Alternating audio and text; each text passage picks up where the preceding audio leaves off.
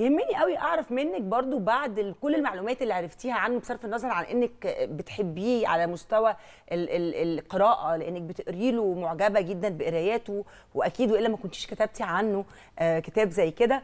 بس عايزة اعرف إيه اللي جمع بينه وما بين الرومانسية والفروسية؟ يعني هو اتقال عليه الاثنين ولقب بالاثنين أعتقد الفترة اللي الإنسان بيقضيها في الجيش حتى لو هو فترة جيش تاديه عسكريه فقط مش طالب ممكن تساعده إن هو يكتب كتير ويخرج مشاعره لأنه آه. آه. الجيش مفيش مجال يعني الموضوع نظامي قوي. أي. بيصحى في ميعاد معين وينام في ميعاد معين فهو اكل ما تدريب. قدموش غير الكتابة. ف... وما قدموش غير الكتابة الرومانسية. إن هو يعبر عن مشاعره ما أقدرش ما يعني ما أقصدش برومانسية هنا حب. أقصد مشاعر بتخرج آه، إحساسه اتجاه زمايله إحساسه اتجاه وحدته إحساسه اتجاه أهله اللي هو مش قادر يشوفهم. مم.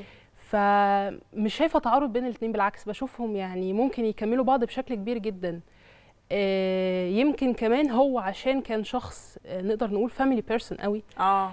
فده أثر على وجوده خلال وجوده في الدراسة كان محتاج يعبر عن مشاعره بشكل أو بآخر. وفي أعمال كتير من هو خرجها خرجها من خلال العصف الذهني للأيام اللي هو كان مقضيها في زي مثلا إني راحلة. مم. رد قلبي طبعا الأشهر. خلال الفترة اللي هو قضاها كضابط. فأعتقد ده التأثير الوحدة اللي بتبقى موجودة في العسكرية. المحطات المهمة في حياته والمحطات المؤثرة جدا في حياته من وجهة نظرك كانت إيه؟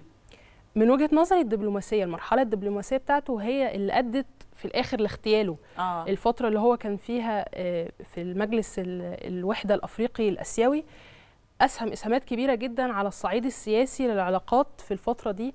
آه، راح دول كتير آه، سواء في آسيا أو في أمريكا الجنوبية أو في أفريقيا.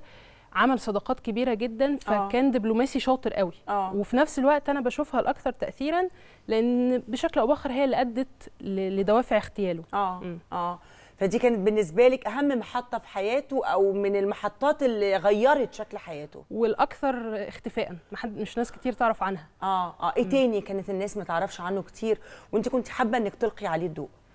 يمكن علاقاته بإحسان عبد القدوس لأن الناس كلها فاهمة إن علاقته بإحسان عبد القدوس كانت علاقة عداء آه. جاية من إنه دلوقتي الناس كلها بتحب لا أنا بحب كذا وأنت بتحب كذا وبنعمل فريقين. فدلوقتي اللي بيحب يوسف السباعي ما يحبش احسان والعكس هم في وقتها كانوا أصدقاء أصدقاء آه، على درجة كبيرة وعلى درجة أسرية. مم. فدي برضو كنت حابة أسلط الضوء عليها.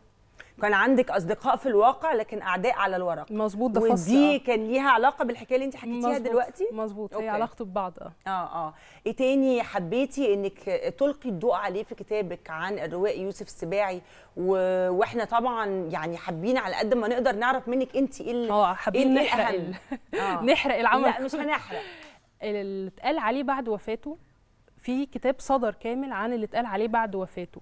والكتاب ده. كان مهم جدا وساعدني جدا سواء اتقال في مقالات أو اتقال في خطب واللي اتكلموا عنه مش بس أدباء.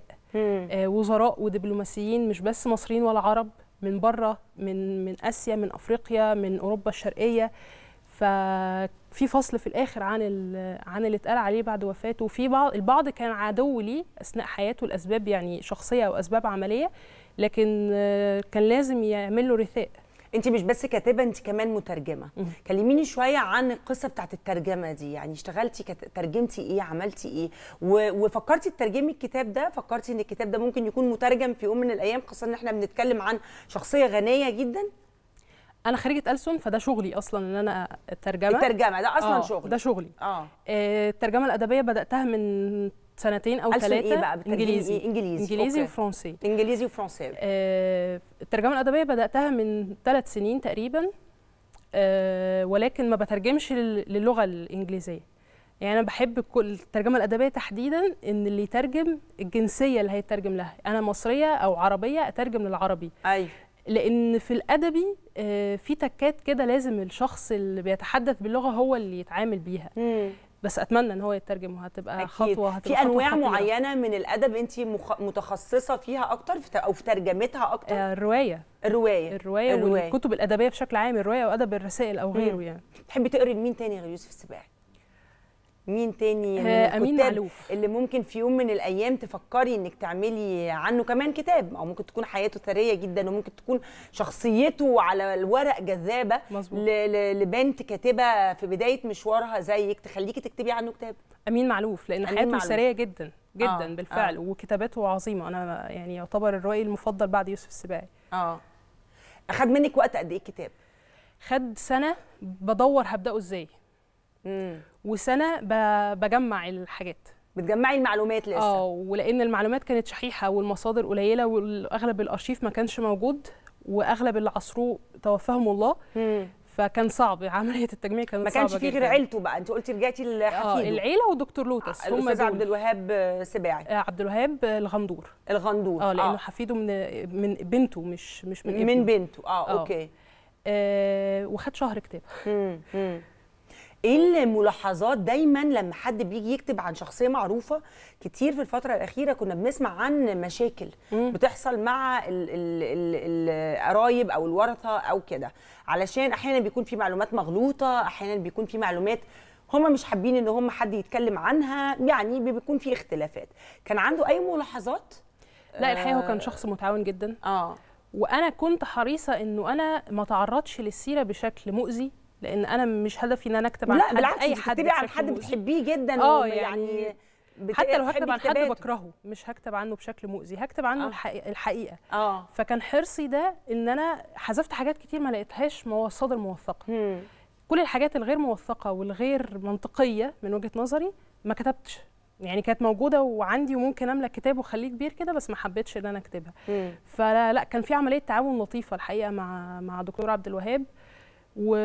وأنا ما كنتش هكتب حاجة سيئة يعني عن يوسف أكيد السباعي أكيد. حياته العسكرية أضافت له إيه ككاتب؟ أعتقد أضافت له نص إرثه. آه. يعني لازم ك... ككاتبة أنا بقول لك بقى النقطة دي لازم حياتنا تأثر في اللي إحنا بنكتبه. ده أكيد ده أكيد. فهو لو ما كانش في اللي عسكري بنكتبه في اللي بنشتغله وفي كل, كل حاجة. حاجة. طبعا. لو ما كانش عسكري آه، ما كانش هيطلع يوسف السباعي الاديب ده. أيوه. ما كانش تطلع الشخصية دي التوليفة دي. آه آه آه. آه. لأ خالص. وما كانتش هتطلع الكتابات بالشكل ده. الشكل اللي هو طالع من شخص آه، حاد. انت حاسة إن هو حاد وقوي جدا ولكن حاسة إن هو لطيف. وهادئ جدا في كتابته. فأعتقد ده رجع يعني ده للعسكرية وده اللي هو طبيعته الشخصية كده وتربيته كمان في حي شعبي مصري أصيل زي ما قلنا متغذي بال- بالمصرية الأصيلة بالظبط. ده أكيد كمان كان بيضيف يعني ملامح مصرية قريبة دي حقيقة. للقارئ أو للناس دي حقيقة